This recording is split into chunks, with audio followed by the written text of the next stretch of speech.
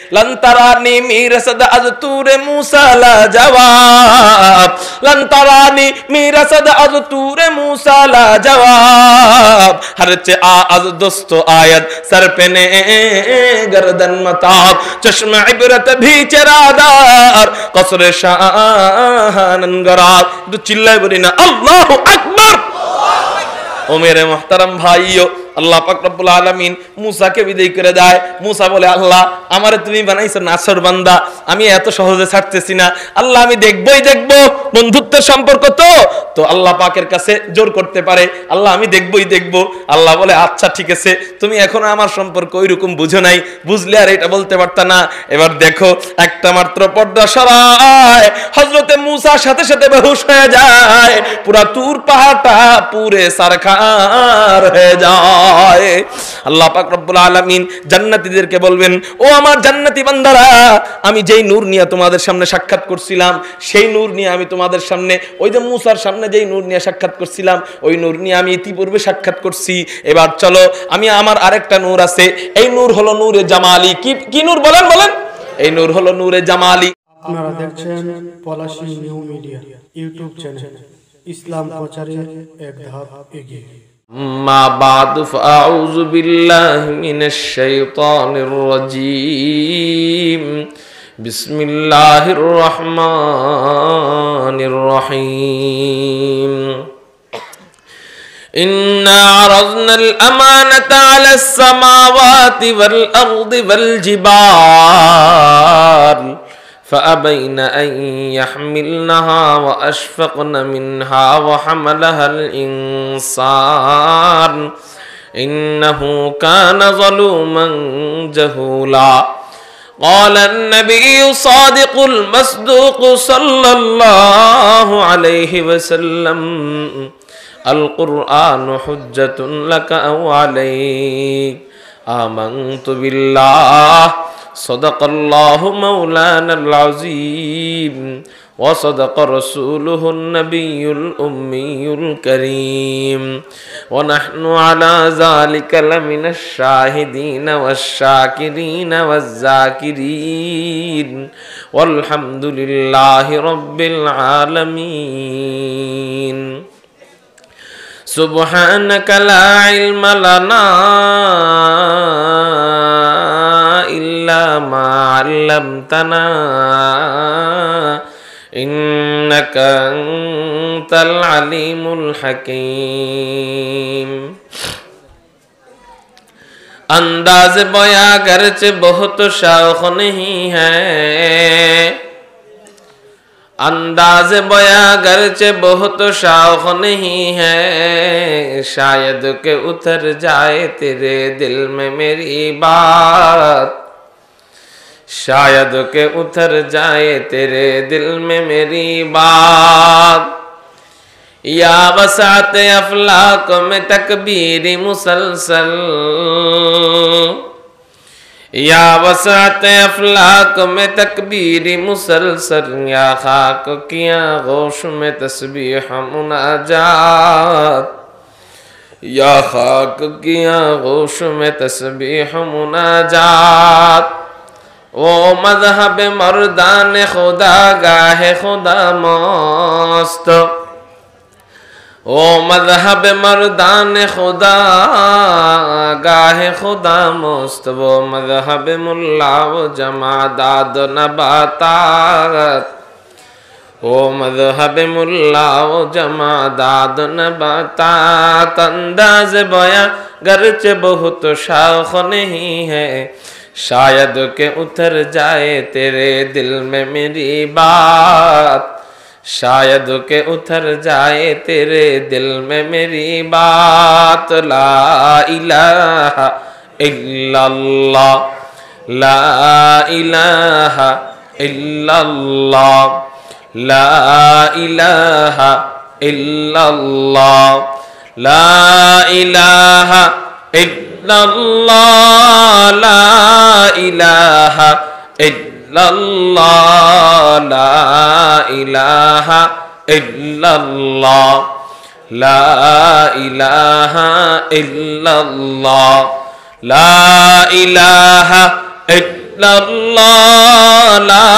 ইলাহা ইল্লাল্লাহ, লা ইলাহা ইল্লাল্লাহ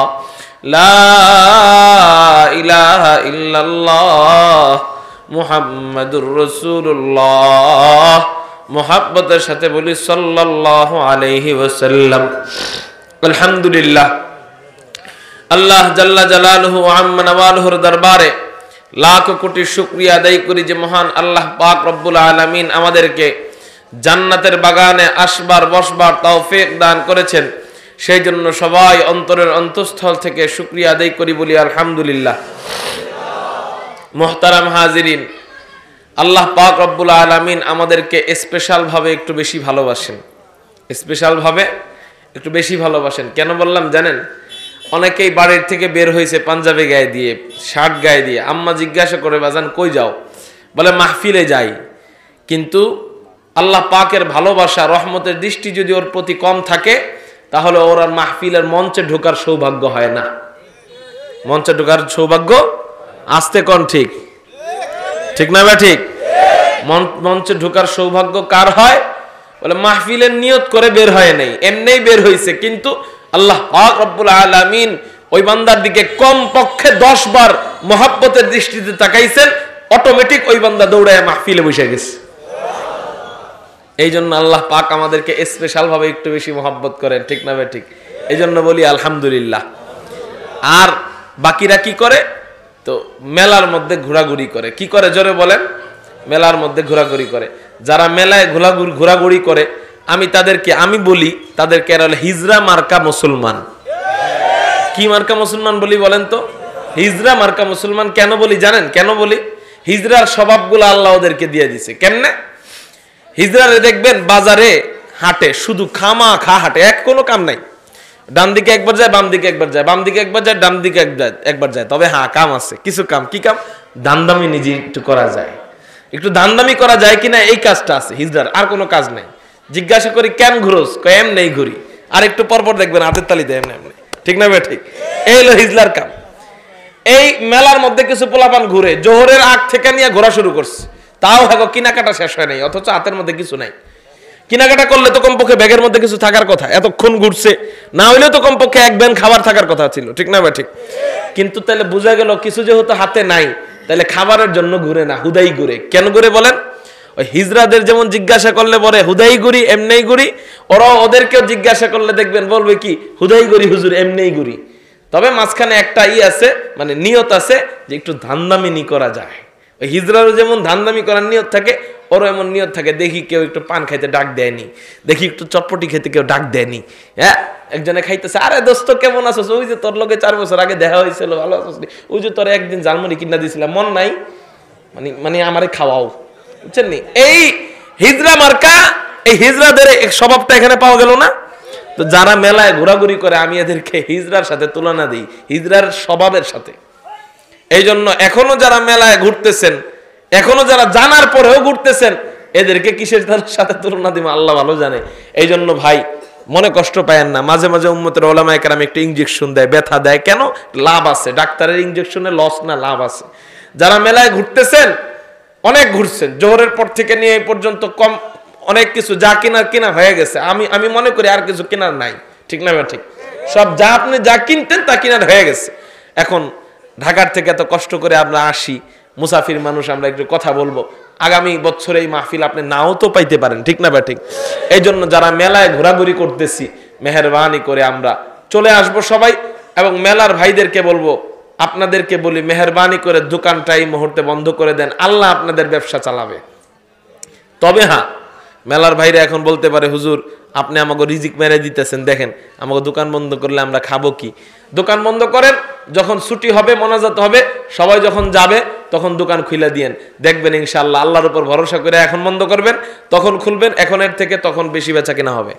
এটা প্রমাণিত প্রমাণিত। আমি বলছি, সাথে সাথে দোকান বন্ধ করে দিছে কিছু কিছু জায়গায়। বন্ধ করার পরে যখন চলে গেছে, সবাইকে বসে এই, আপনাদের যেটা লাগবে, মেলার থেকে যাওয়ার সময় দোকান থেকে কিনে নিয়ে যাইবেন। যাওয়ার সময় কিনে নিয়ে গেছে, দেখা গেছে যে, হুজুর, কয় কি, এতক্ষণ বেচা কিনা যাই হয়েছে, এখন সবচেয়ে বেশি হয়েছে। এই জন্য আপনারা আল্লাহর উপর ভরসা করে বন্ধ করে দেন। তবে হ্যাঁ এই মেলার মধ্যে সবচেয়ে বড় খারাপ জিনিস যেটা হয়, এটা হলো নারীদের অবাধ মেলামেশা, নারী পুরুষের। আপনাদের এখানে হয় কিনা তা জানি না। কিন্তু আমাদের ঢাকা শহরের মাহফিলগুলোতে মেলার মধ্যে নারী পুরুষের অবাধ মেলামেশা হয়, পর্দা লঙ্ঘন হয়, চোখের জিনা হয়, আর বিয়ে বিয়েন দেখা হইলে তো কোনো কথা নাই, মুসাফার শুন ছুইদা করে হ্যান্ডচিপ কি করে? বলেন না। আমার ফ্রেন্ডই তো, আমার বিয়ে নিত একটু হ্যান্ডচিপ করলে হুজুর আপনাদের এত সমস্যা কোথায়? বলে কি বলে না? এটা তো আমার বিআইন হ্যান্ডচিপ করলে সমস্যা কোথায়? এই স্কুল কলেজের বেশিরভাগ পুরুষরা নারীদের হাত ধরে এটা কিছু মনেই করতেছে না। ঠিক না বা ঠিক? অথচ এটা কি বলেন? এটা জিনা, হাতের জিনা হাতের জিনা। আল্লাহ আল্লাহ, এটা ঘটনা মনে পড়ে গেছে। পাকিস্তানে এক বুজুর্গ আলেম সংসদে গেছে একটা সিগনেচারের জন্য, নেতার, মন্ত্রীর সিগনেচারের জন্য।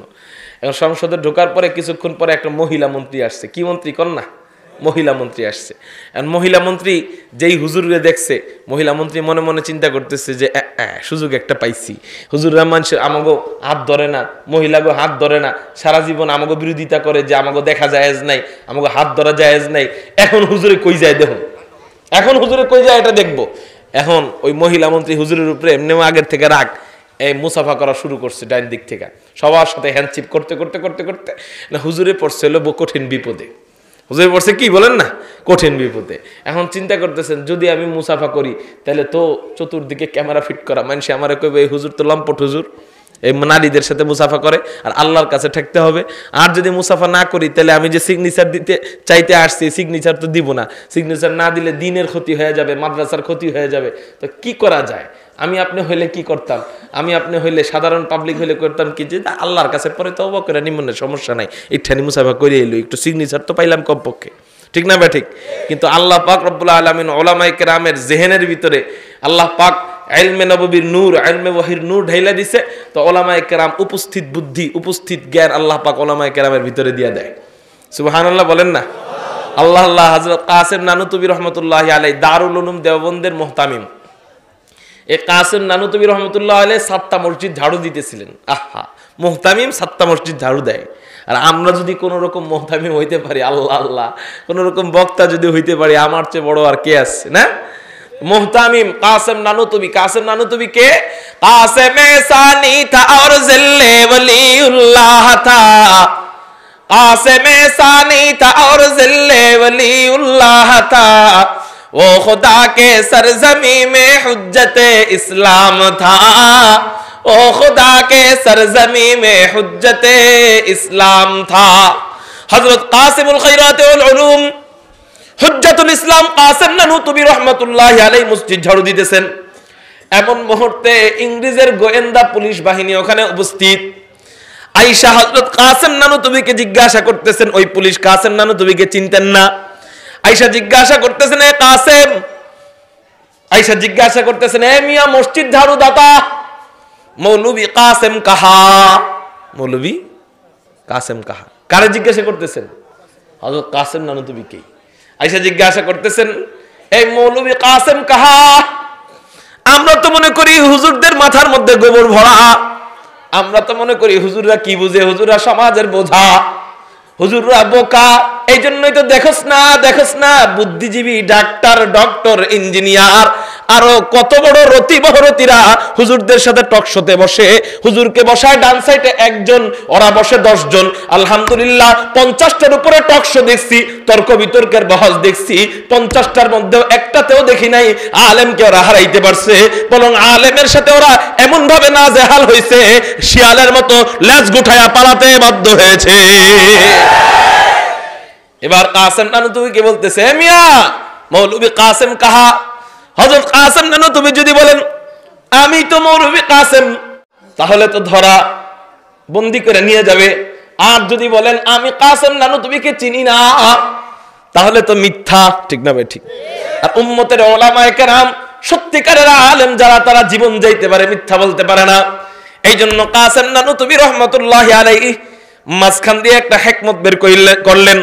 কাসেম নানু, তুমি যেখানে দাঁড়ানো ছিলেন ওই জায়গার থেকে পাঁচ হাত দূরে যায় ওই আগের জায়গায় দেখানে বলতেছেন আভি তো ইহা থা কাসেম নানু তুমি তো কিছুক্ষণ আগে এখানে ছিল এখন জানি কই সুবহানাল্লাহ আমার কথা বুঝেন না আপনারা কাসেম সানি থা আর জিল্লে ওলিউল্লাহ থা वो खुदा के सरजमी में हुज्जत इस्लाम था वो खुदा के सरजमी में हुज्जत इस्लाम था মৌলবীর মাথা তো মাথা না বলে এক একটা হলো কদবেলের মতো। মৌলবীর মাথা তো মাথা না বলে এক একটা হলো চাঁদের থেকে দামি। মৌলবীর মাথা তো মাথা না। আল্লাহ আল্লাহ।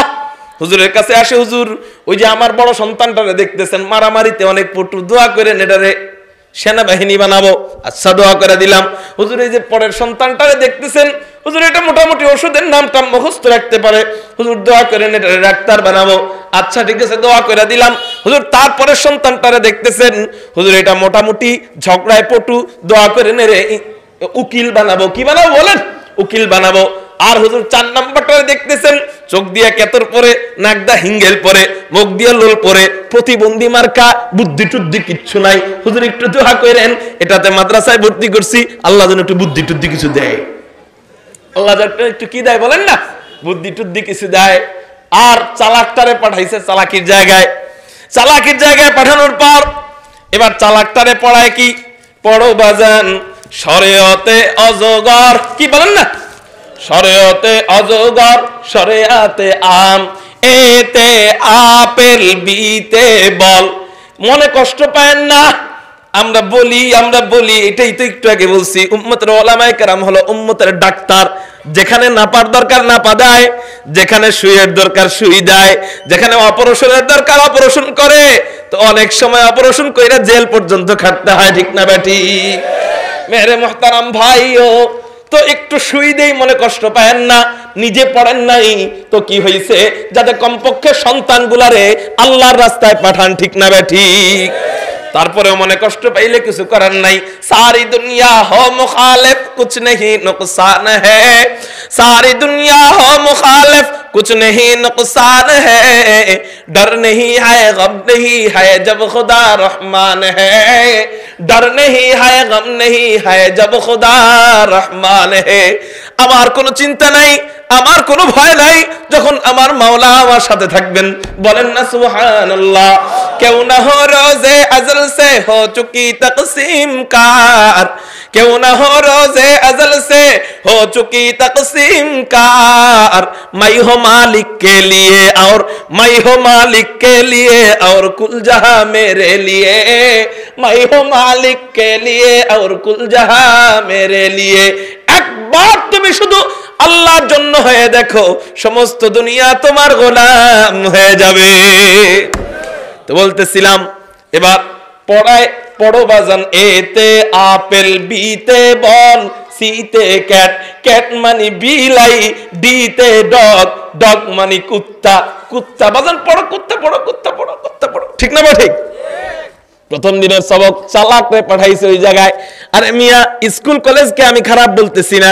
ওই সমস্ত শিক্ষাকে খারাপ বলতেছি, যেই সমস্ত শিক্ষা শিখায়া আমাদের সন্তানদের ব্রেন ওয়াশ হয়ে যায়। ওই সমস্ত শিক্ষা যদি মাদ্রাসায়ও থাকে, আমি বলব ওই মাদ্রাসার কোনো প্রয়োজন নেই, ওই মাদ্রাসাও বন্ধ করে দাও। মোটামুটি ইংরেজি টিংরেজি শিখছে। সরে সরেয়া শিখছে, মোটামুটি অক্ষর শিখছে। এবার কবিতা পড়ায়, পড়ো বাজান হাট্টি মাটিম টিম, তারা মাঠে পারে ডিম, তাদের খারা দুটো শিং, তারা হাট্টি মাটিম টিম। আচ্ছা এমন কোন প্রাণী আপনারা জীবনে দেখছেন নি যার মাথায় দুইটা শিং আছে, এরা জীবনে ডিম পারছে? কে দেখছেন হাত ওঠান? দেখেন নাই কেউ? আসলেই দেখেন নাই? কই থেকে পাইলো এই মগা এই কবিতা? কই থেকে পাইলো? এই মগায় আবার এই কবিতা লেখছে। আচ্ছা কবিরা তো কবিতা লেখে, অবশ্যই বাস্তবতার সাথে মিলায়, ঠিক না ঠিক। বাস্তবতার সাথে মিলায় লেখে না? তাহলে এই কবিতাটা, এই কবি পাইলো কই থেকে আর এই প্রাণী পাইলো কই থেকে প্রাণী না পাইলে এটা লেখলো কেমনে? আর লেখার পরে গ্রহণযোগ্যতা যদি নাই থাকতো, তাহলে পাঠ্যপুস্তক পুস্তের ভিতরে এটা ঢুকলোটা কেমনে? আমার মাথায় ধরে না, আমি হায়াতুল হায়াওয়ান কিতাবের মধ্যে খুঁজছি, এমন কোন প্রাণী আসেনি মাথায় দুইটা সিং আছে জীবনে ডিম পারছে পাইনি এরপর ইন্টারনেটে সার্চ দিছি, পাই নাই। পাই না পাই না পাই না, শেষ পর্যন্ত আমার এটাই এটাই আমি ধরে নিছি, কি করব আর? কারণ পাইতো না। এখন মনে মনে এটাই ধরে নিছি যে মগা, এই কবিতা লেখছিল, ওই মগারে মনে হয় দুইটা শিং আছিল মনে হয় দিনে তিনটা করে ডিম পারতো। দিকেও চাই এই কবিতা লেখছে, নাহলে পাইলো কই থেকে এটা? ঠিক না বেটে? আল্লাহ, তাহলে বুঝেন, ছোট মগা না বড় মগা? জোরে বলেন। এখন কন, তার থেকে বড় মগা দেখবেন নি আপনারা? তার থেকে বড় মগা দেখবেন? ওই মগাটারে দেখতে মন চাইতেছে না যে, হুজুর দেহি তো দুই সিঙ্গালা মগা কেমন দেখা যায়? তার থেকে বড় মগা শোনেন এই মাঠের মধ্যে আছে। তার থেকে বড় মগা, বাপে কইছে কি, পোলারে যা বাজান, পান কিনা নিয়ে আয়, পাঁচ টাকা দিছে। একজন রে কইছে, কজন রে? একজন রে। বাপ পোলায় করছে কি, পান না কিনা, বিড়ি কিনা আনছে। কি কিনা আনছে, কন না? বিড়ি কিনা আনছে। আর নাকি আব্বা, এই যে বিড়ি আনছি। কাট তোর আমি আনতে গেছি পান। ওই মুরব্বী ডরায় গেছে? এই দমকে মানুষে ডরায়, মিয়া, বউর দমক তো আরও বেশি। তো এদিকে খেয়াল করেন। কয় কি যে তুই তোরে আনতে গেছি পান, তুই বিরিয়ানি লিখে। আব্বা, শুনতে ভুল করছি। এখন বাপে কি করছে, দশ পোলারে পাঠাইছে, যা, পান কিনা নিয়ে আয়। এখন দশ পোলাই আকিস বিড়ি কিনা আনছে। কি কিনা আনছে কন? এখন কন, এখন যদি কয়, তোরা এটা করলি কেন? এখন দশ জন যদি কয় যে শুনতে ভুল করছি, তাহলে এখন কন, এটা কি মানা যায়? ওই একজন ভুল করতে পারে দশজন যদি ভুল করে থাকে, তাহলে দশজন এটা কি ভুল করছে না পাগল ওগুলা? একজন যদি ভুল করে, তাহলে এটা বোকা বলা যাইতে পারে। দশজন যদি ভুল করে, এটা বোকা না, এটা পাগল।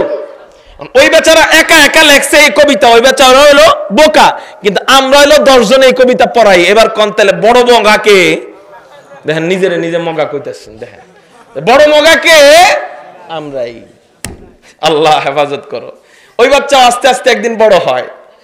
আর বোকা বাচ্চা, যারে বাবা বোকা বলছে, ওই বোকা বাচ্চারে মাদ্রাসায় পাঠায়। ওই যে বোকা দেখে, আপনাদের এলাকায় হয়তো নাই, আমাদের ঢাকা শহরে।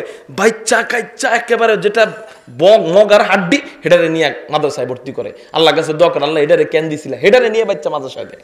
বুঝছেন নি? আল্লাহ, ওইটারে আল্লাহ কত কবুল করে দেখেন। মাদ্রাসার থেকে, বাড়ির থেকে বের হয়, এখনও আলিফ তা শিখে নাই, এখনও আলিফ তা শিখে নাই, কিন্তু আলিফ তা শিখার জন্য ঘর থেকে বের হয়। আল্লাহ পাক রব্বুল আলামিন ফেরেশতাদেরকে বলে, ও ফেরেশতারা, ওই বাচ্চা, ওই বান্দা, আমি আল্লাহর কাছে এত দামি এত দামি এত দামি এত দামি, ও যেন জমিনে পা না ফেলে, ওর পায়ের নিচে তোদের নূরের দামি পাখাগুলা বিছাইয়া দে। এবার ওই ফেরেশতা ঘর থেকে বের হয়, ওই বান্দা ঘর থেকে বের হয়। আল্লাহ পাক রব্বুল আলামিনের আদেশে ফেরেশতাদের নূরের পাখাগুলা ওই বাচ্চার পায়ের নিচে বিছাইয়া দেয়। এবার ওই বাচ্চা হাঁটে, বলে, আমরা তো চোখে দেখি জমিনের উপর হাঁটে, কিন্তু জমিনের উপর হাঁটে না। আল্লাহর কসম করে বলি, যারা মাদ্রাসায় পড়ে, তলবে আলেম যারা, এরা জমিনের উপর হাঁটে না। ফেরেশতাদের নূরের দামি পাখার উপর দিয়ে হাঁটে। আপনি, আমি যদি শুনতাম এবার যদি এসএসসি পরীক্ষায় কেউ এ প্লাস পায়, তাহলে প্রধানমন্ত্রী লাল গালিচা দিয়া তাকে গণভবনে নেওয়া হবে। এই কথা যদি আমরা শুনতাম, তাহলে বলেন, ওই এসএসসিতে যেন এ প্লাস পায় এই জন্য সন্তানদের উপর কতটা আমরা চাপ প্রয়োগ করতাম। এবার যদি পাশ করত এ প্লাস যদি পাইতো, তাহলে বুঝেন, ওই লাল গালিচার উপর দিয়ে হাঁটতো, আর আমরা কত না গর্বিত হইতাম, ঠিক না বে ঠিক? আরে মিয়া, ওই লাল গালিচার কি ঘোড়ার ডিমের দাম? ওই লাল গালিচা যখন পুরাতন হয়ে যায়, তখন ওই লাল গালিচা ছোট ছোট কইরা কাইটা গুলিস্তানে দশ টাকার পাপস বিক্রি করে আর ওই লাল গালিচার কি করার ডিমের দাম? ওই লাল গালিচা যদি কোটি কোটি কোটি কোটি টন আসমান জমিনের মাঝখানের পরিমাণ খালি জায়গায় যদি লাল গালিচা দিয়ে বলা হয়, ওই লাল গালিচা এক পাল্লায়। আর ফেরেশতাদের দামি নূরের পাখা, পুরা পাখার দরকার নাই। পাখার যে এক একটা পর থাকে, এই পর যদি আরেক পাল্লায় রাখা হয়, হাজারো কোটি কোটি লাল গালিচার থেকে ফেরেশতাদের এক পরের দাম অনেক বেশি। ঠিক না বা ঠিক? ওই পরের উপর দিয়া আমার আপনার সন্তান হাঁটে। এর থেকে গর্বের বিষয় আর কি হতে পারে? এবার ওই সন্তান মাদ্রাসায় যায়। মাদ্রাসায় যাওয়ার পর উস্তাদ পড়া শুরু করে দেয়। আলিফ বাতা পড়ানোর আগে একটা জিনিস পড়ায়, একটা দোয়া পড়ায়। কয়, কি দোয়া? কয়, পড়ো বাজান, রব্বি জিদনি আইলমা।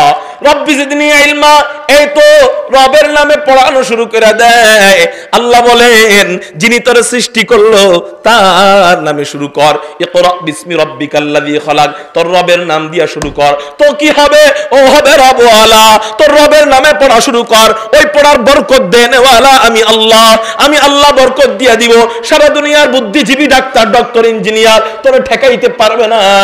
এবার ওই বোকা বাচ্চা, বাচ্চাটা বোকা, মার কাছে বোকা বোকা, বাবার কাছে বোকা। কিন্তু ওই বাচ্চা যখন রব্বি জিদিনি ইলমা পড়া পড়া শুরু করে, আল্লাহ পাক রব্বুল আলামিন ইলমে ওয়াহির নূর ইলমে নববীর নূর, আল্লাহ পাক রব্বুল আলামিন ওই বাচ্চার সিনায় দিয়া দেয়।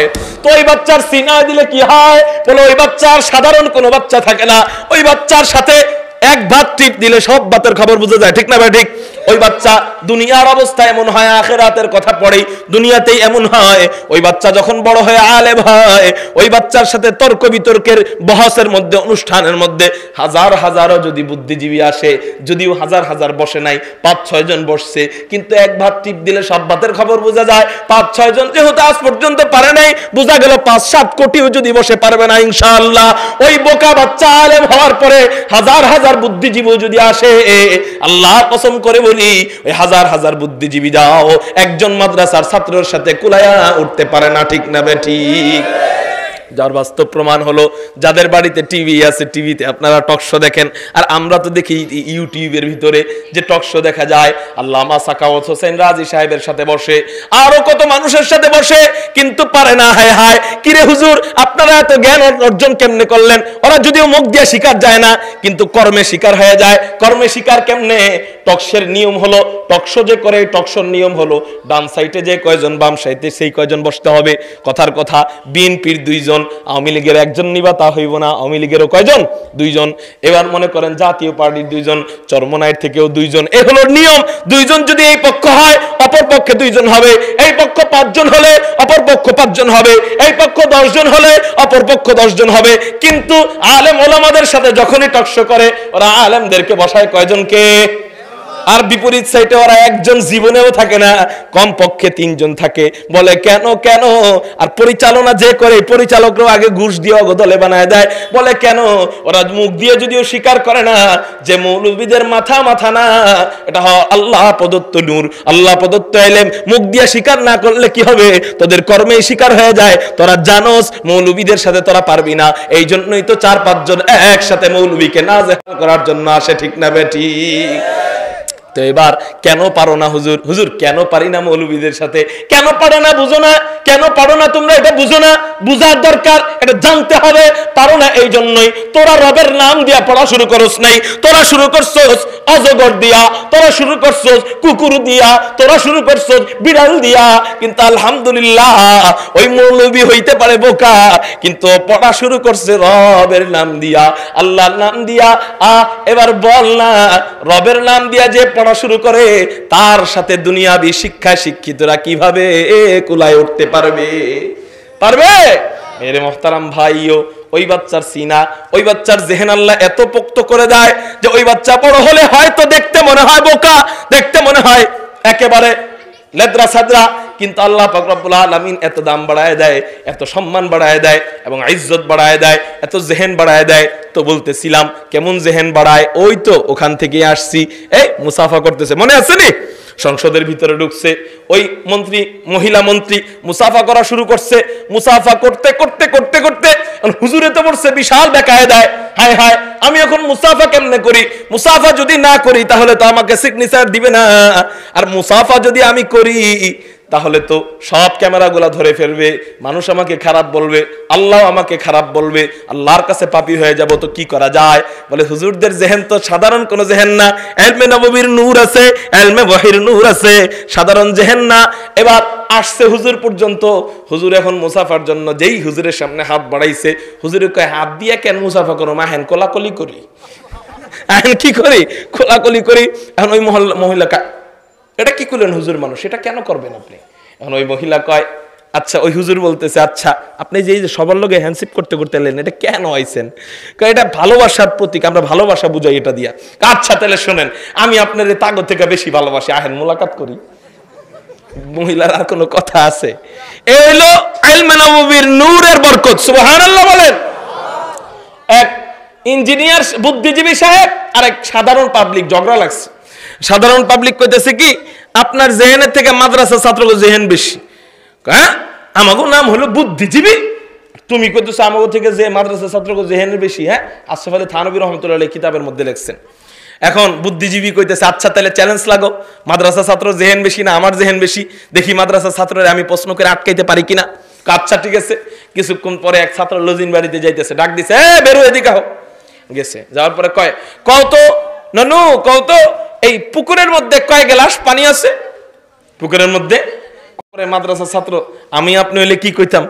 যে কয় গেলা সেটা কি চাচ্ছ? আমি গনেছি গণনে না বলতে পারতাম, আমি তো গনি নাই। তাই আপনি অযৌক্তিক একটা প্রশ্ন কেন করছেন? স্বাভাবিক অযৌক্তিক না এটা? যে কেউ কি গ্লাস দিয়ে গনছে পুকুরে কয় গ্লাস পানি? আর মাদ্রাসার ছাত্র হ্যাঁ, বুদ্ধিজীবী তো খুব খুশি। আমার দোস্তরে আমি দেখাবো যে ওদের থেকে আমাকে জেহেন বেশি। মাদ্রাসার ছাত্ররা বোকারাম হয় এখন দেখাই দিব। আর মাদ্রাসার ছাত্র কয় আচ্ছা চাচ্ছু আমি আপনাকে বলি এখানে কয় গ্লাস পানি আছে? যদি গ্লাসটা পুকুরের সমান হয় তাহলে এক গ্লাস পানি আছে। আর যদি পুকুরের দুই ভাগ হয় মানে অর্ধেক হয় গ্লাসটা সাইজ জানতে হবে আগে গ্লাসের সাইজ কতটুকু। মানে আপনি কোন গ্লাসের সাইজ করছেন তা তো জানি না। তবে গ্লাসের সাইজ যদি পুকুরের সমান হয়, তাহলে এক গ্লাস।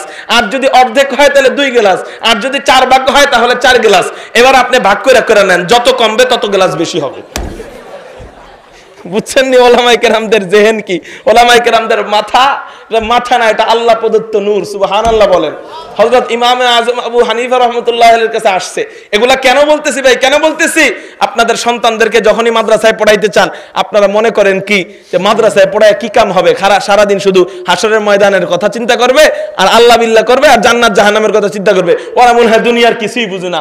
আরে মিয়া, দুনিয়ার কিছু যদি নাই বুঝতো, তাহলে ওলামায়ে কেরাম আল্লাহ আকবার এই ওলামায়ে কেরামরা আলেম ছিল হজরতে ওমর, অর্ধজাহানের খলিফা। কি ছিল? অর্ধজাহানের খলিফা। কি হয়েছে ফলশ্রুতিতে এই পুরো অর্ধজাহানের ভিতরে বাঘ আর বকরি এতটা ইনসাফ চলতো তখন যে বাঘ আর ছাগল এক ঘাটে পানি খাইতো, তারপরেও কখনো ছাগলকে বাঘ খেয়ে ফেলতো না। সুবাহানাল্লাহ বলেন। আর এখন ওলা- ওলামায়ে কেরাম নাই। এক ঘাটে ছাগল আর বাঘ তো দূরের কথা, দুই ভাই একসাথে খানা খানা খাইতে এক প্লেটে পারেন না, ঠিক না ঠিক? আল্লাহ আল্লাহ। তো বলতেছিলাম, আল্লাহ আকবার হজরত ইমামে আজম আবু হানিফার কাছে একজন আসছে নাস্তিক আসছে। আসো হুজুর, আপনারা বলে অনেক বড় বুদ্ধিমান মানুষ। আমি একটা প্রশ্ন করি, পারলে উত্তর দেন। আপনারা বলে আমাকে বুদ্ধিজীবীর থেকে অনেক বড় বুদ্ধিজীবী হ্যাঁ? মানুষ বলে, দেখি তো আপনার কেমন বেরেন, দেখি তো আপনার কেমন জেহেন, বলেন তো পারলে আকাশে তারকা কয়টা? আকাশে? তারকা কয়টা? আমি আপনি হলে কি কইতাম? এই বেটা, এটা কি গইনা দেখছি নাকি? তোরা বিজ্ঞানীরা পারবি নাকি? এটা বলতাম না? ইমামে আজম আবু হানিফাকে আকাশে তারকা বিশ কোটি। কয় কোটি? আমি হুজুর, আপনি কেমনে কইলেন? আমি যেমনে মন এমনে কইছি। তুই, তোর যদি বিশ্বাস না হয়, তাহলে তুই গইনা দেখ। তোর যদি বিশ্বাস না হয়, তাহলে তুই গইনা দেখ। এ হলো ওলামাই কেরামের জেহেন। আল্লাহ আল্লাহ। আমাকে এক হুজুর ছিলেন। ক্লাস করাইতেছে, এখন ছোট বাচ্চা আসছে। আসো আব্বা, টাকা দাও টাকা দাও টাকা দাও। কয়, টাকা নাই বা জান, আমার হাতে টাকা নাই। কয় কি হ্যাঁ আব্বা, মাঝখানে একটা কথা কইছে আব্বা, টাকা না দিলে কিন্তু তোমার আমি বাইক কমো। টাকা না দিলে তোমার আমি বাইক কমো। এ কথা করার পরে কয়েক আসলে বাজান টাকা নাই। ওরে টাকা দিলেই ও ফাইজলামি করে, ভিডিও গেমস খেলতে যায়। এখন আছে কিনা জানি না। ওই আরও কমপক্ষে ছয়, সাত বছর আগে ওই বাজারে ভিডিও গেমস খেলতো পোলাপান, পাঁচ টাকা, দশ টাকা দিয়া। এখন তো মোবাইলে মোবাইলে আইসা গেছে, ঠিক না? আগে তো মোবাইল পোলাপানের হাতে কম ছিল। তো টাকা দিলেই পাঁচ টাকা পাইলে আধা ঘণ্টার জন্য খেলতে যেত গাছরের পরে। দশ টাকা দিলেই দশ টাকা দিয়েই খেলতে এক ঘণ্টা। তো টাকা দাও টাকা দাও, হুজুর কয়, আমার হাতে টাকা নাই। প্রথমে একবার অ্যাটাক করছে, এটা বইলা যে আব্বা আব্বু, টাকা দাও, নাহলে তোমার ভাই কমো। এখন হুজুর কয়, চোদ্দ বার ভাই কর, তাও টাকা দিব না। এই কথা বলার পরে এখন না, টাকা দিতে হবে। টাকা দাও। এখন কয়, টাকা নাই। কয়, তাহলে কসম কাটো। আব্বু, আল্লাহর কসম, আমার হাতে টাকা নাই। এটা করার পরে, কসম কাটার পরে পোলায় বুঝছে যে আসলে বাবা তো কসম কাটা মিথ্যা বলতে পারে না। তো এই কথা বলছে পরে পোলায় গেছে যাওয়ার পরে আমরা হুজুরে কইছি, হুজুর, একটু আগে না পান কিনতে টাকা দিলেন? আমাগো, আপনার পকেটের মধ্যে না টাকা আছে। আপনি কইলেন আপনার হাতে টাকা নাই মানে কি? আরে বেটা, আমি কইছি আল্লাহর কসম, আমার হাতে টাকা নাই। হাতে তো আসলেও টাকা নাই, আমার পকেটে টাকা? আমার কোন জায়গায় টাকা? পকেটে টাকা। তো এ হলো আল্লাহ আকবার। এলমে নববীর নূর, এলমে ওয়াহির নূর আল্লাহ পাক আমাদের সিনায় দিছে। আলহামদুলিল্লাহ বলেন। আল্লাহ, ওই কবিতা ওগুলা পড়াইলে ব্রেন ওয়াশ হবে না তো কি হবে? তা আর আমার মাওলার কবিতা পড়াইতে মানে চায় না। এটা কবিতা বললেও ভুল হবে। তাদের কবিতার থেকে দামি, কঠিন, কোটি কোটি গুণ বেশি দামি আমার মাওলার কিতাব। সুবহানাল্লাহ বলেন। দেখেন হাট্টিমা টিম টিম লাস্টে ম, তারা মাঠে পারে ডিম লাস্টে ম, তাদের খারা দুটো সিং ম আর আসেনি আছে আর ম আছে? তাদের খারা দুটো সিং ম আর আছে? ম নাই। আমার মাওলার কবিতা দেখেন, আমার মাওলার কোরআনের ছন্দ মিল দেখেন, অন্ত মিল দেখেন, কোন কোন আয়াত পড়বেন, দেখবেন, সব আয়াতে শেষে সিন। আউযু বিল্লাহি মিনাশ শাইতানির রাজিম, বিসমিল্লাহির রহমানির রহিম। কুল আউযু বিরাব্বিন নাস, মালিকিন নাস, ইলাহিন নাস। আবার কোন কোন আয়াত পড়বেন, দেখবেন, কি চমৎকার। সব আয়াতের শেষে কাফ। কুল আউযু বিরাব্বিল ফালাক, মিন শাররি মা খালাক। আবার কোন কোন আয়াত পড়বেন, দেখবেন সব আয়াতের শেষে দাল, কুল হু আল্লাহু আহাদ আল্লাহুস সামাদ, লাম ইয়ালিদ ওয়া লাম ইউলাদ কুফুয়ান আহাদ। আবার কোন কোন আয়াত পড়বেন, দেখবেন কি চমৎকার, সব আয়াতের শেষে লাম, আলাম তারা কাইফা ফাআলা রাব্বুকা বিআসহাবিল ফিল, আলাম ইয়াজআল কাইদাহুম ফি তাজলিল ওয়া আরসালা আলাইহিম তায়রান আবাবিল। আবার কোন কোন আয়াত পড়বেন সব আয়াতের শেষে বা, তাব্বাত ইয়াদা আবি লাহাবি ওয়া তাব্ব মা মালুহু ওয়া মা কাসাব, সায়াসলা নারুন আবার কোন কোন আয়াত পড়বেন, দেখবেন সব আয়াতের শেষে নুন। আর রহমান আল্লামাল কুরআন, খালাকাল ইনসান, আল্লামাহুল বায়ান। আবার কোন কোন আয়াত পড়বেন, দেখবেন কি চমৎকার। সব আয়াতের শেষে রা, ইয়া আইয়ুহাল মুদাসসির, কুম ওয়া রাব্বাকা ফাকাব্বির, ওয়া ফাতাহহির আবার কোন কোন আয়াত পড়বেন, সব আয়াতের শেষে ওয়াও। ওয়ান নাজমি ইদা হাওয়া, মা দাল্লা সাহিবুকুম ওয়া মা গাওয়া, ওয়া মা আবার কোন কোন আয়াত পড়বেন। সব আয়াতের শেষে আলিফ, ওয়াল মুরসালাতি উরফা, ফাল আসিফাতি আসফা, ওয়ান নাশিরাতি নাশরা, ফাল ফারিকাতি ফারকা। আবার কোন কোন আয়াত পড়বেন, দেখবেন সব আয়াতের শেষে খারা জবর ওয়াদ্দুহা ওয়াল লাইলি ইযা সাজা মা ওয়াদ্দাকা রাব্বুকা ওয়া মা ক্বালা, ওয়ালাল আখিরাতু খায়রুল লাকা মিনাল উলা। আবার কোন কোন আয়াত পড়বেন, দেখবেন সব আয়াতের শেষে গোলতা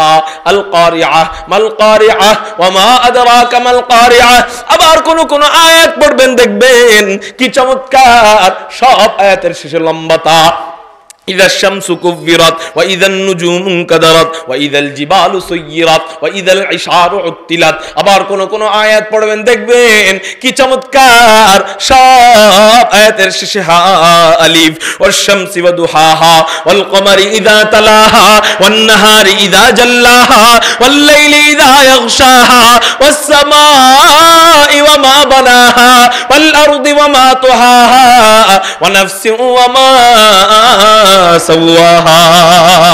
আমার মাওলার কয়েকটা আয়াত ব্যতীতই মনে হয় পুরা কোরআনটাই জান্নাতি কবিতা। চিল্লায় বলি, সুবহানাল্লাহ। এমন একটা দামি কবিতা ফালায়া, এমন একটা দামি ছন্দ মিলের কিতাব ফালায়া, এমন একটা দামি কিতাব ফালায়া। কই? হাট্টি মাটিম টিম তারা মাঠে পারে ডিম পড়াইতে যায়, হাসরের ময়দানে পাইবেন গোড়ার ডিম। কেডা কইছে ঠিক? আসলে ময়দানে আপনার আমার জন্য ঘোড়ার ডিমও নাই। যেগুলা খায় একটু ক্ষুধা নিবারণ করব। ঠিক না ঠিক? ওই ঘোড়ার ডিমও আপনার আমার লেগে নাই। ও মেরে মোহতারাম ভাইও, কান সুখ করে বাড়িতে চলে যাবেন, এটা যেন না হয়। আল্লাহর কাছে তওবা করেন, বলেন, আল্লাহ, আমি শিখি নাই তো কি হয়েছে তখন আমি বুঝি নাই। ওলামায়ে কেরামদের থেকে আমি শুনি নাই তখন, ছোট ছিলাম, কিন্তু এখন বুঝলাম, আল্লাহ, তোমার রাস্তায় আমার কমপক্ষে কমপক্ষে কমপক্ষে একজন সন্তানকে তোমার রাস্তায় দিয়ে দিব। কারা কারা রাজি আছেন? আল্লাহ আকবার বলে দুইটা হাত দেখান। রাজি আছেন ইনশাআল্লাহ। কবিতা, কি কবিতা বলেন না? জান্নাতি কবিতা। যখন আমাদেরকে জান্নাত দিবেন, একটা জায়গার মধ্যে আল্লাহ আমাদেরকে বসাবেন, ওই জায়গায় আমাদেরকে জান্নাতের নায়ক বানাইবেন বলি, আলহামদুলিল্লাহ। জান্নাতে কি বানাইবেন বলেন? নায়ক নায়ক নায়ক। আজকে তো দুনিয়ার নায়ক হওয়ার জন্য যুবকরা পাগল। এই জন্যই তো দেখবেন নায়ক কাটিং দেয়, গায়ক কাটিং দেয়, আরও কত কাটিং দেয়। সেলুনের দোকানে একবার কিছুদিন আগে গেছি, যাওয়ার পরে দেখি কি, এক ছেলে মোবাইল আইনা সেলুনওয়ালারে বলতেছে, ভাই, আমার এই কাটিং এর চুল কাইটা দাও। এবার চুল কাটছে। আমি আয়না দিয়ে দেখতেছিলাম, আমিও চুল কাটতেছিলাম, আমি দেখতেছিলাম, দেখি ও কেমন চুল কাটা কাটে। এই মোবাইলে দেখাইতে হয় চুল কাটার স্টাইল দেখি ওই কোন স্টাইল আনছে। এবার চুল কাটতে কাটতে শেষ পর্যন্ত দেখলাম কি, মাথার সব দিক দিয়ে ছোট ছোট ছোট ছোট বানাইছে। কিন্তু মাথার ডান দিকে এমন করে মোরগের উপরে যে একটা ফুলকি আছে না, মাথার ডান দিকে এমন করে উঁচা রাখছে। আমি মনে মনে বলি, আয় হ্যাঁ জীবনে কত কাটিং দেখলাম। এটা আবার কোন কাটিং আমার চুল কাটা শেষ হওয়ার পর, ওরা জিজ্ঞাসা করলাম, ভাই, বলো, এটার, এই কাটিং এর নাম কি? এটা কোন কাটিং ও বলতেছে, হুজুর, এটা আপনি বুঝবেন না, এই কাটিং এর নাম হলো হিরো আলম কাটিং কি কাটিং কর না কে? হিরো আলম হিরো আলম রে, চিনেন? কারা কারা হাত উঠান? মোটামুটি যুবকরা, চিনেন না? সত্যি কথা কোন, চিনেন কারা কারা? স্বাভাবিক, চিনাটাই স্বাভাবিক। চিনেন? আচ্ছা হাত নামান। এই হিরো আলম হলো, আলহামদুলিল্লাহ, সুম্মা, আলহামদুলিল্লাহ, আমাদের বাংলাদেশের আন্তর্জাতিক খ্যাতি সম্পন্ন মগা। কি বল না এমন কোন ফাইজলামি নাই, এমন কোন দুই নাম্বারই নাই। ও করে নাই। শেষ পর্যন্ত মানুষের নজরে যাওয়ার জন্য, মানুষের, মানুষ যেন ওকে চেনে এই জন্য এমপি পর্যন্ত, এমপির নমিনেশন পর্যন্ত ও চাইতে গেছিল। পাইছে না না পাইছে তা জানি না। তো এমপির নমিন পরে লাস্ট পর্যন্ত মনে হয় পেদানি খাইছে, কঠিন মায়ের খাইছে। তো এই হিরো আলম এত মূর্খ ক কলম ফুরায় খ লিখতে খাতা ফুরায়। এই হিরো আলম, মানুষ যেমন নেটে সার্চ দেয়, তাহিরি লেখা কেন? তাহিরি লেখা সার্চ দেই, ওই যে ওইটা শোনার জন্য, ও মুরুষি দো দো দো দো দো। এটা শোনার জন্য তাহিরিরে সার্চ দেয়, আর হিরো আলম লেখা সার্চ দেয় হলো হিরো আলমের বান্দরামি দেখার জন্য। এই মগা হিরো আলম রে, ওই যে বান্দর তো, বান্দরামি যতই করুক, বান্দর তো দেখতে কিছু মানুষ ভিড় হয় ভিড় হয় না? ও যেহেতু এই বান্দ্রামি করে বেড়ায় সারা বাংলাদেশে। তো ওরেও দেখার জন্য তো কিছু মানুষ ভিড় হইব, অশ্লীল কাজ করে বেড়ায়, আরও কত কিছু করে। এমন কোন জিনিস নাই যে ফাইজলামিও করে না। হ্যাঁ? তো এই হিরু আলম এক টিভিতে ওরে ডাকছিল। টিভিতে ডাকছে পরে ও এইরকম কাটিং করে, কারণ ও মগা আনকমন মগা আনকমন কাটিং করছে। কেউ যেমন এই কাটিং জীবনে করে নাই, ও করছে কি সব জায়গাতে নাই রে করে দিক দিয়ে উঁচা করছে, মাথা চুল উঁচা রাখছে। এটারে আবার ওই পোলাপ দেখা মজা লাগছে, ভালো লাগছে। ও আবার করছে কি, এটা আবার টিভির থেকে ছবি তুললা, ওই বেটার কাছে নিয়ে আসে ভাই, আমার এই যে এই কাটিং করে দাও, এটা হলো হিরো আলম কাটিং আমার ভালো লাগছে। আমি তখন মনে মনে কই, আহারে, রাসুলের কাটিং তোর ভালো লাগল না? এই মূর্খ হিরো আলমের কাটিং তোর ভালো লাগল? তখন আমি মনে মনে কি কইছি, কবনি আপনাকে মনে কষ্ট পাইবেন না তো? কমো কমো। মনে মনে আমি তখন কই, তোর এই মূর্খ হিরো আলমের কাটিং ভালো লাগল। তোর যে অবস্থা দেখতেছি, কয়দিন পরে মুরগি পায়খানা করার সময় পিছন থেকে ফৈরুসা করব, ওটারও ছবি তুললে যায় কবি, ভাই, এটা আমার ভালো লাগছে, এই কাটিং আমার তুমি করে দাও। ঠিক না ঠিক? ওর যে অবস্থা, আল্লাহ হেফাজত করো, বলি আমিন। আল্লাহ হেফাজত করো, বলি আমিন। দুনিয়ার নায়ক গিরি বাদ দাও। দুনিয়ার নায়কগিরি যতই হইতে চাও নায়কের মতো দুনিয়ার নায়ক তো কয়েকজন হয়, সবাই তো আর হইতে পারবে না। কিন্তু জান্নাতি নায়ক সবাই চেষ্টা করলে সবাই পারবে ইনশাল্লাহ ওই পরনারীর পিছনে ঘোরা বাদ দাও। দুনিয়ার পরনারীর পেট ফেললে আড়াই কেজি ময়লা বের হয়। ঠিক না বা ঠিক? ওই নারীর ঘুষ পিছনে ঘোরা বাদ দাও, আল্লাহ পাক জান্নাতে যাওয়ার পর সর্বপ্রথম না চাইতেই বাহাত্তর জন হুর দিয়ে দিবে। চাইলে তো অভাব নাই। চাইলে কি নাই? অভাব নাই। এবার আল্লাহ পাক রব্বুল আলামিন আমাদেরকে জান্নাত দেওয়ার পর একটা জায়গার মধ্যে বসাবেন। ওই জায়গার নাম হলো মাকাদে সিদক। আল্লাহ পাক রব্বুল আলামিন বলেন, ইন্নাল মুত্তাকিনা ফি জান্নাতি ওয়া নাহার ফি মাকাদি সিদকিন ইনদা মালিকিন মুকতাদির। ওই জায়গার মধ্যে আল্লাহ পাক আমাদেরকে বসাইবেন। আল্লাহ পাক রব্বুল আলামিন বলবেন, ও বান্দারা দুনিয়ায় তোমরা কারা কারা গান বাজনা শুনো নাই? এবার আমরা বলব, আল্লাহ, গান বাজনা আমরা শুনি নাই। এই জন্যই তো জান্নাতের মধ্যে আসলাম। এই যুবকরা, কান খাড়া করে শোনো। যারা নাকি গান বাজনা শোনো, এরা কিন্তু এই নেয়ামত থেকে বঞ্চিত হইতে পারো। এই জন্য গান বাজনা বাদ দাও। আল্লাহ জান্নাতে যাওয়ার পর আমাদেরকে বলবেন কারা গান বাজনা শুনো নাই? আমরা বলব, আল্লাহ, আমরা গান বাজনা শুনি নাই। এই জন্যই তো জান্নাতে আসলাম। আল্লাহ পাক রব্বুল আলামিন বলবেন, ও আমার বান্দারা, আমাকে খুশি করার জন্য তোমার বন্ধু বান্ধবরা গান বাজনা শুনতো, তারপরেও তুমি গান বাজনা শুনতা না। আমাকে খুশি করার জন্য তুমি কত কষ্ট করে নিজেকে কন্ট্রোল করতা, নিজের নফসকে কন্ট্রোল করতা। এবার জান্নাতের মধ্যে তুমি আসছো, এবার তোমাকে খুশি করার পাল্লা আমি আল্লাহর এবার জান্নাতের মধ্যে আমি তোমাদেরকে গান শোনাতে চাই। তোমরা কি জান্নাতের মধ্যে গান শুনবা নাকি? এবার বান্দারা অবাক হয়ে যাবে, আল্লাহ, জান্নাতের মধ্যে কি আবার গান আছে নাকি? আল্লাহ পাক রব্বুল আলামিন বলবেন, হা হা দুনিয়ার থেকে কোটি কোটি কোটি কোটি গুণ বেশি জান্নাতি গান, কোটি কোটি গুণ বেশি সুন্দর হলো আমার জান্নাতের গান। চিল্লায় বলেন, সুবহানাল্লাহ। এবার আল্লাহকে হয়তো কিছু কিছু মানুষ জিজ্ঞাসা করবে অথবা কল্পনা করবে, আল্লাহ দুনিয়া তো গান বাজনা শুনতাম, ইন্টারনেট থেকে নামায়া, টিভির মধ্যে দেখা মেমোরি লোড কইরা, আল্লাহ, এরকম কিছু করতে হবে কিনা? আল্লাহ পাক রব্বুল আলামিন বলবেন, না না না, কোন সিনেমা হলেও যাইতে হবে না টিভিতে ও ও দেখতে হবে না, পরের অন্য নারীকেও দেখতে হবে না, তোমাদের স্ত্রীরাই তোমাদেরকে নাইচা নাইচা গান শুনাইয়া দিবে। এবার আল্লাহ পাক রব্বুল আলামিন হুরদেরকে ডাক দিবেন। কোনো কোনো হুর আইসা ডান হাত টিপতে থাকবে, কোনো কোনো হুর হুর মানে স্ত্রীরা, কোনো কোনো হুর বাম ভাত টিপতে থাকবে, কেউ পা টিপতে থাকবে, কেউ স্বভাবে তহুর পান করাইতে থাকবে, কি পান করাইতে থাকবে বলেন? স্বভাবে তহুর খাঁটি বাংলায় যদি বলি পবিত্র মদ। পবিত্র কি বলেন না? পবিত্র মদ। আরে দুনিয়ার মদ না। দুনিয়ার মদ তো খাইলে শাশুড়িরে যায় কয়, বউ তুমি কেমন আছো? দুনিয়ার মদ তো এমন। খায়া মারে যায় কয়, আরে বউ ভাত কেন পাকাস নাই? এ হলো দুনিয়ার মদের অবস্থা। আর জান্নাতি মদ জান্নাবে জান্নাতি শরাবে তহুর যত খাবে তত আল্লাহ পাকের মোহাব্বত আর আশক মারেফতের সাগরে ডুবতে থাকবে। এবার ওই মদ পান করাইতে থাকবে।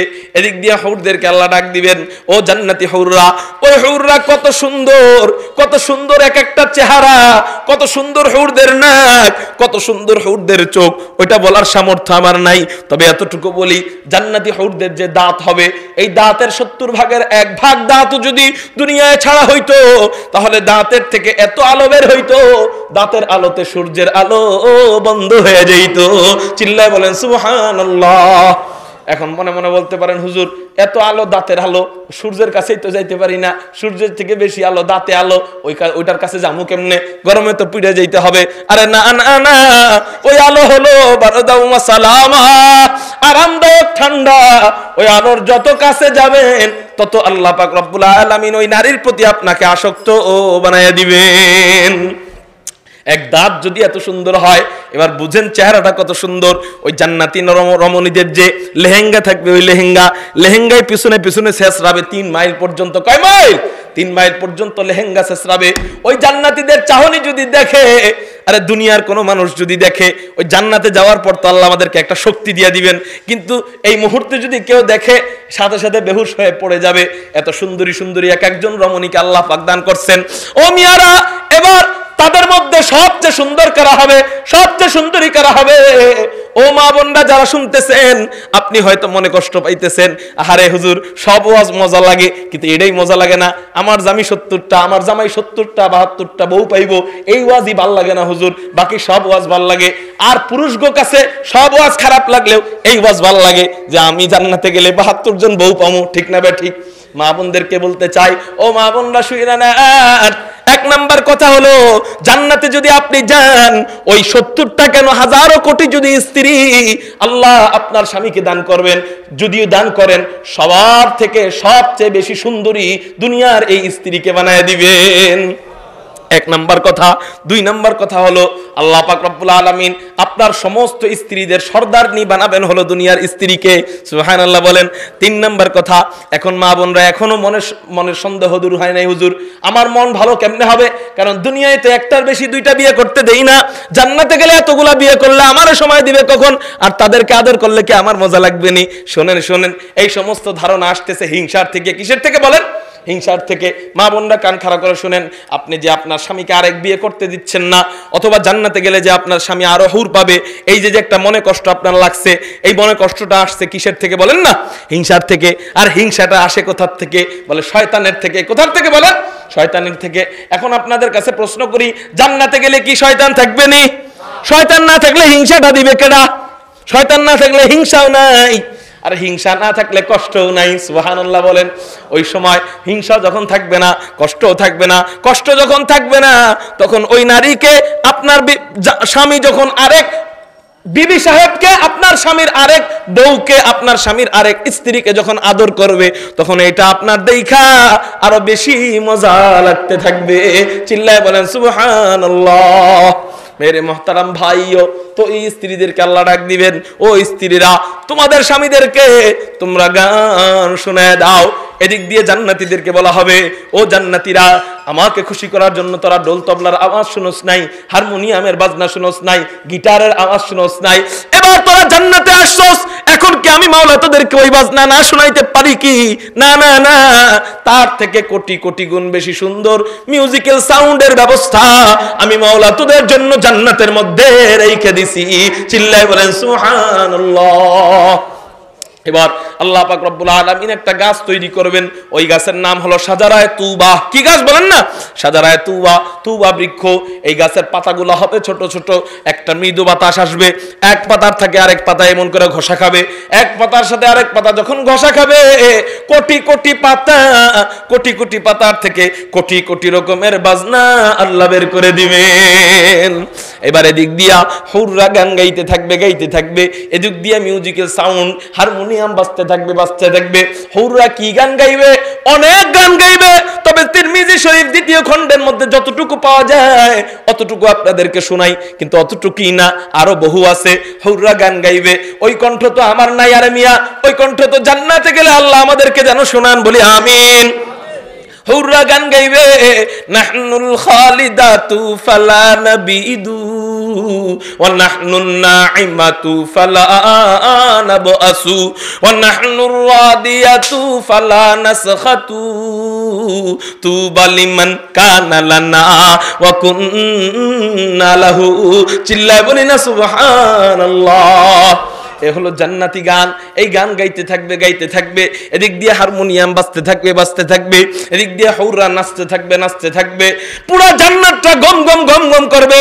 এই গান বাজনার আওয়াজে হঠাৎ করে উপর থেকে আওয়াজ আসবে। আসসালামু আলাইকুম ইয়া ইবাদি। ভলান্টিয়ার ভাইরা এদিকে জানতো দেখেন তো কোন বেয়াদবটা এমন করতেছে। আপনারা এদিকে খেয়াল করেন। বলেন, লা হাওলা ওয়ালা কুওয়াতা ইল্লা বিল্লাহ। বলেন, জোরে বলেন।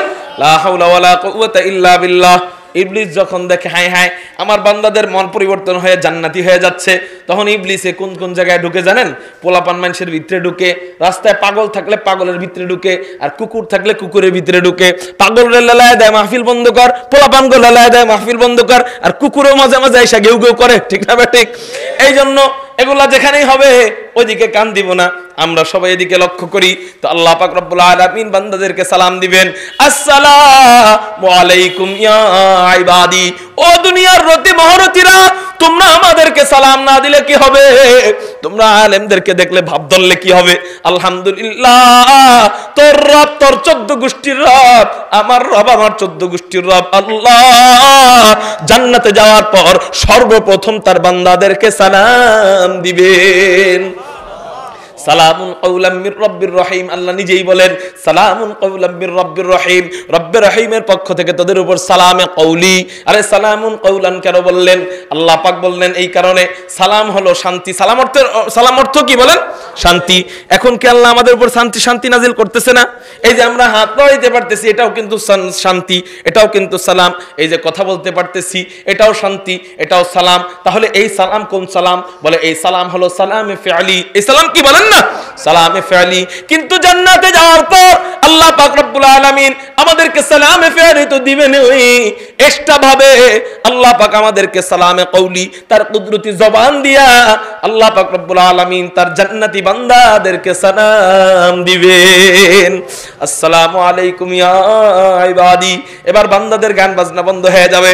আল্লাহ পাক রব্বুল আলামিন বলবেন, ও বান্দারা তোমরা অনেক নাজ নেয়ামত পাইছো, তাই না? এবার বলো, যেই সমস্ত নাজ নেয়ামতের ওয়াদা আমি করেছিলাম দুনিয়ার মধ্যে, সব কি ঠিকঠাক মতো পাইছো কিনা? একদল বান্দা বলবে, আল্লাহ, কি বলো না বলো? এই প্রশ্ন করার কি দরকার? যা যা ওয়াদা করছ, তা তা তো পাইছি, বরং অকল্পনীয় জিনিস পাইছি।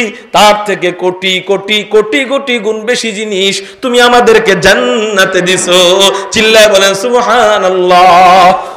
আল্লাহ কোনো কিছুর অভাব নাই। আরেক দল বান্দা চুপ করে থাকবে।